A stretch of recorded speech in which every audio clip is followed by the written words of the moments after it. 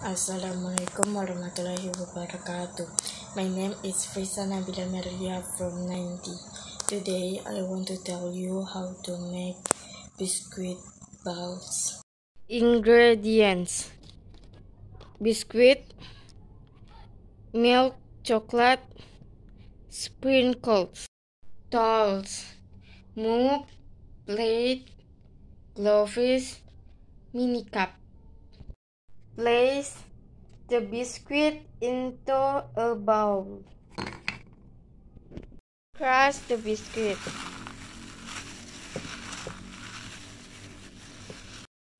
Put milk into a bowl.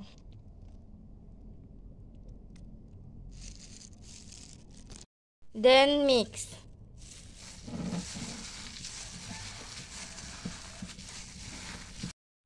Take small amount of mixture and roll into a bowl.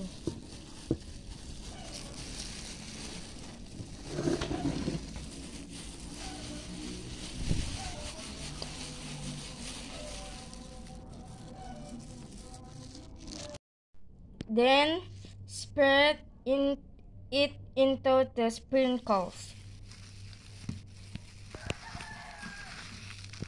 Then put it in a small cup.